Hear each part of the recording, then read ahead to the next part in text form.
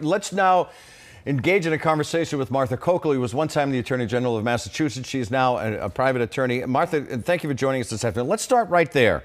What do you think? Whitaker now has the power to indeed limit the scope or perhaps even eliminate the, the Russia investigation. Will he? What do you think? Well, it's clear this is why he was appointed. If you look at his background and particularly that article that Ben just mentioned, I'm sure that was very attractive to the president since this has been under his skin since the beginning. Jeff Sessions, who supported him, who was the first senator to endorse him, but then recused himself was something that made him very angry. He's been looking for a way to get at this.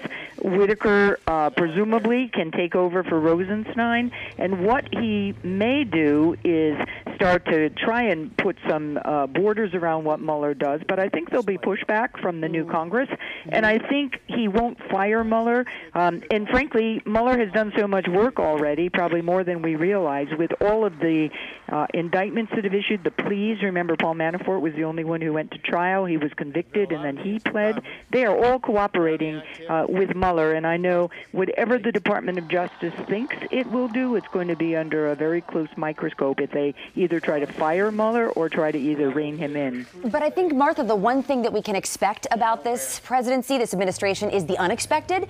So if he did do that, if he did fire Mueller, what kind of political crisis does that set off? Well, I think that's been an issue for a while, and he's known that it would create a firestorm. I think the president senses urgency, having lost the House, that this was the first thing he did today. After it's clear in January there'll be a Democratic majority in the House, he already said they better not start more investigations because he can play that game too. Um, but he clearly wants to limit what Mueller is doing or has done, and may not have a game plan for it. But I assume those are the marching orders that Whitaker has.